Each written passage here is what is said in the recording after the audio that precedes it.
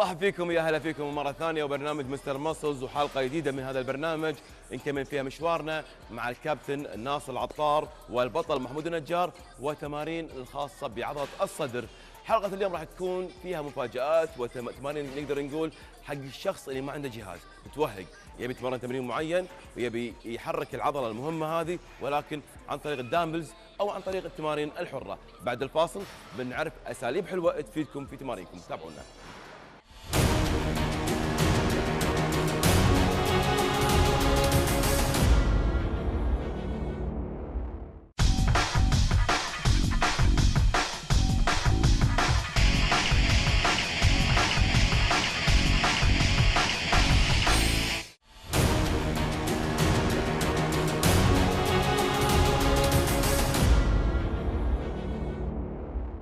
من بعد الفاصل معاكم مرة ثانية وبرنامج مستر ماسلز مع الكابتن ناصر والكابتن محمود. نكمل تماريننا لحلقة اليوم الأخيرة معاهم إن شاء الله لكن راح نكمل معهم أكيد في حلقات جاية وتمارين أكثر.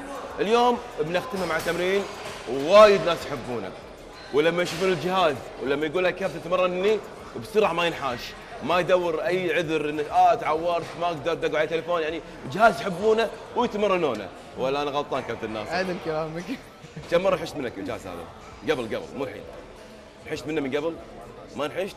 ما شاء الله عليك أنا انحشت منه. أنا وايد أنا انحشت منه أعترف إنه وايد أنا لأنه هو بيصير بطل إحنا ما لنا شغل هو ليش الناس ما يحبونه؟ إيه. هذا هو العقله إيه. لأن البداية يطق واحد اثنين تكرار ثلاثة العقلة يمكن يترعص إيه. بس إذا واحد شوي شوي شوي شوي عط نفسك وقت أسبوع أسبوعين راح تتعود عليه وراح تحبه بالنهايه حلو حلو. كابتن محمود يقول الواحد مع الممارسه للتمرين هذا راح يقدر يتعود عليه ويشيل وزنه. كابتن ناصر مثلي أنا ينحاش من الجهاز. عندي موقف صار لي. اللي هو خليني اقرب منك عشان الصوت إيه. برا مجال الحديد إيه. قدمت تربية أساسية. حلو. قبل كم سنة؟ قرب منه شوي بعد عشان الصوت إيه. تذكرت موقف. من الاختبارات جري ومرونة ومعدة وضغط. إيه. من ضمنهم عقلة. عقلة. توقع شو طقيت كم؟ نطيت مسكت الدكتور يقول يصعد. ترعس ترعس ما قدر. من قادر. ما قدر. كنت حيد أيامها؟ لا. من كذي؟ بس لو الحين شوي شوي شوي شوي الحين اعطيك 30 40 تبارك الرحمن ما شاء الله. أنا حدي 10 وخلاص بس ما أقدر بعد. كابتن وحط إرادة. إيه، و- وتمرين و-.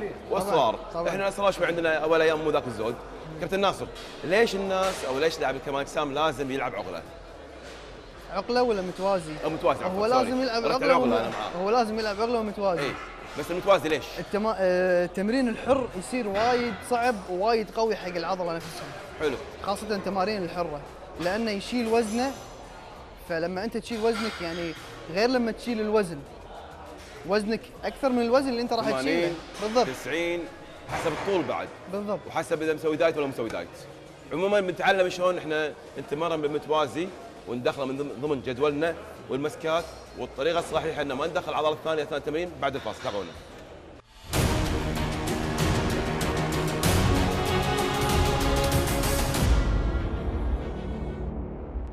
هناك أسباب تخلي الواحد يشتهي ياكل الحلويات مباشرة بعد الأكل. شلون ممكن الإنسان يتخلص من هذا الأمر؟ أول شيء شنو الأسباب؟ عند تناول الطعام يقوم الجسم يرتفع السكر عنده اللي بالدم. طبيعي كليت أكل فيرتفع السكر. فيقوم البنكرياس في الجسم يفرز كمية إنسولين مطابقة لكمية السكر المأكول. أنا كليت هالكثر كربوهيدرات أو سكريات يقوم البنكرياس يفرز هالكثر إنسولين بالضبط عشان ينزله ويوازنه. زين الحين شو اللي يخلينا نشتهي السكريات؟ أول شيء أكلنا سريع. وثاني شيء أكلنا لا يحتوي على ألياف فالهضم يكون سريع. وثالث شيء الكمية اللي قاعد ناكلها كمية كبيرة، فكمية كبيرة بوقت قصير والأكل ماكو ألياف. فينفرز السكر في الجسم بشكل سريع ما يقدر البنكرياس إنه يحسب كمية السكر اللي الإنسان كلاه، فيبدا يفرز كمية إنسولين كبيرة.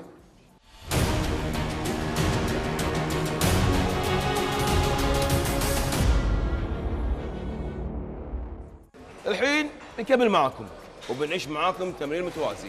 لكن مو أنا بتمرن ولا ناصر بيتمرن واحد من الشباب اللي حس بأهمية العقلة والمتوازي وكابتن محمود. عندك المايك وعندك كل شيء سولف عن التمرين أغلب الناس يلعبونه بطريقة غلط. ليش؟ يحرك لك عضلة ال tri. يلعبها ضيج وتكون مسكة الإيد الكوع قصدي إي. تكون للداخل فيلعبها غلط. يعني كل ما أقرب إيدي مثل الجهاز هذا قاعد يحول tri. يحول كل ما ارجع tri. عليه ورا يحول صدر صدر. السفلي حلو. فالمكان الصح وين بالضبط؟ مكان الصح هني. الناحية هذه. بالضبط. ممتاز. والكوع ما يكون داخل يكون برا. برا. أساس يلعب حق عضلة الصدر تحت. حلو. يعني الأخطاء إن الواحد يقرب وايد يسكر يكون ضيج اللي هو المتوازي وكوع على داخل. بالضبط. أما إذا رجع لورا بيده وفتح ال- الكوع. فتح الأكواع. تأثير وزنه هو راح يصير على عضلة الصدر. الريل الريل. هل تكون الريل ما تفرق سواء تبي تسكرها تبي أحد يساعدك من ورا بالبداية. ما تفرق. ما تفرق. نهائيا. نهائيا ما تفرق. حلو. الحين إحنا قاعد نكمل جدولنا مع الكابتن محمود.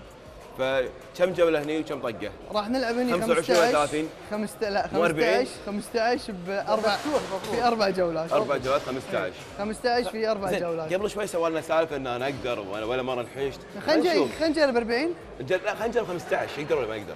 يلا. إي. بلش. إي بس بس مع تركيز. مع تركيز. إي مع النزلة الصحيحة لأن وايد ناس ما ينزلون. إي وايد ناس إي وايد. ناس ينزل نص. إيه. لا. الحين يعني بالعربي يبوق التمرين. طبعا. بس خلينا نشوف يعني البوق البوق اشكره عند الربع؟ خلينا نشوف. بلش. يلا بلش. راح الحين وصلنا حق آخر تنزل الحلقة كامل إيه. وتصعد كامل. بعد بعد لا أصعد لفوق. كنا قاعد يبوق من أيوة. أولها. كنا قاعد يرجف. ما أدري. كم الحين؟ أربعة؟ تنفس تنفس أهم. شيء تتنفس. الراس تحت ولا فوق؟ ما يفرق سواء تحت. ولا فوق ما يفرق. حلو. بس أهم شيء تركز على حلو. عضلة الصدر. السفلي باقي؟ تنفس. 10 باقي خمسة. تنفس يلا.